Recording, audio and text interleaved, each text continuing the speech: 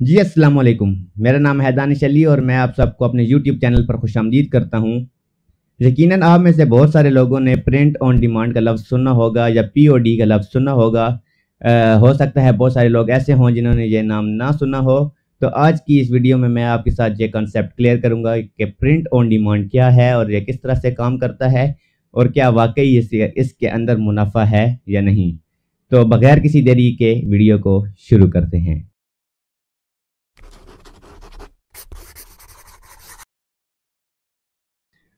जी तो print on demand एक ऐसा प्लेटफॉर्म है जहाँ पर डिज़ाइनर्स अपने डिज़ाइन को कस्टमर तक एक फ़िज़िकल प्रोडक्ट के थ्रू बेच भेज सकते हैं बेच सकते हैं यानी अपने डिज़ाइन को बेच सकते हैं।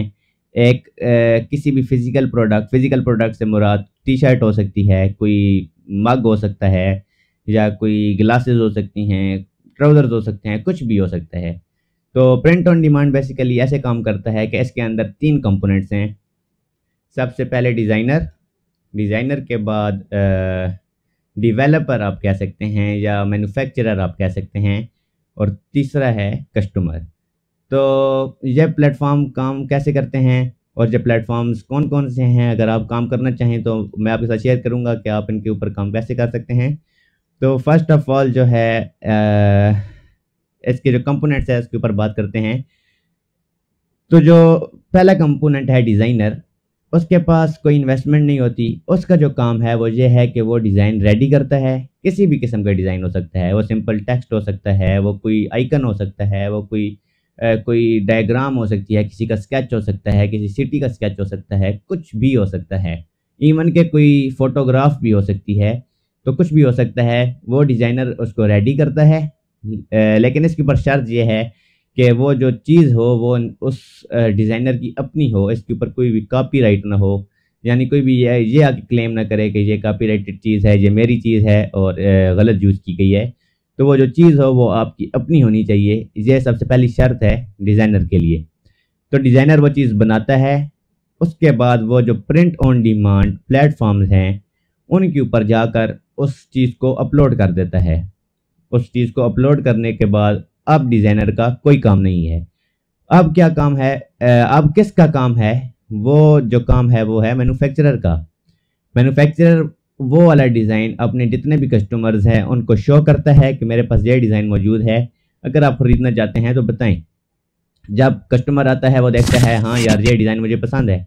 वो उसके ऊपर आप अपना ऑर्डर प्लेस करेगा और बताएगा कि यार, मुझे इस डिज़ाइन के अंदर एक टी शर्ट चाहिए या एक मग चाहिए या जो भी चीज़। वो कस्टमर अपना ऑर्डर प्लेस करेगा। अब मैन्युफैक्चरर का क्या काम है?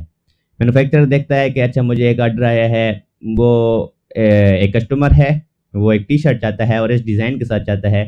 इस डिज़ाइनर ने जो डिज़ाइन बनाया है, इस डिज़ाइन के ऊपर एक टी शर्ट चाहता है। वो क्या करेगा? वो डिज़ाइनर का डिज़ाइन उठाएगा टी शर्ट के ऊपर लगाएगा और यानी उसके ऊपर पेस्ट करेगा। वो वाली टी शर्ट उस कस्टमर को भेजेगा। अगर रिटर्न आता है तो उसको भी वो संभालेगा।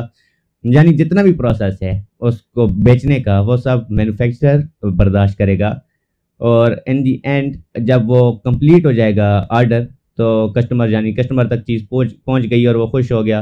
तो अब इसमें जो डिज़ाइनर है और इसमें जो मैन्युफैक्चरर है, उसका क्या मुनाफा है?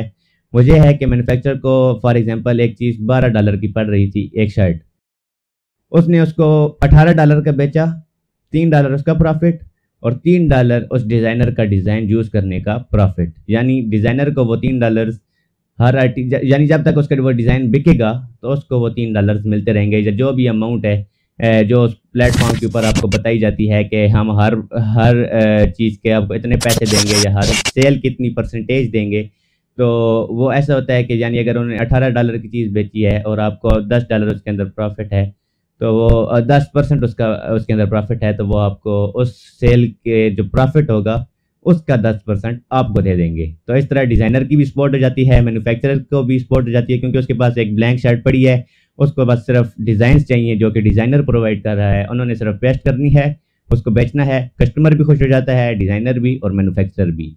तो इन द लास्ट मैं आपके साथ शेयर कर दूँ कि ये कौन कौन से प्लेटफॉर्म्स हैं प्रिंट ऑन डिमांड के तो तीन बहुत ज़्यादा जो मशहूर प्लेटफॉर्म्स हैं, वो ये हैं वो हैं red bubble merch by Amazon और टी स्प्रिंग जिसका रिसेंटली नाम स्प्रिंग हो चुका है। ये तीन प्लेटफॉर्म्स हैं। इनके ऊपर मैं डिटेल्ड वीडियोस बाद में बनाऊँगा कि ये किस तरह से काम करते हैं और इनके ऊपर आप अगर काम करना चाहें तो वो किस तरह से होगा।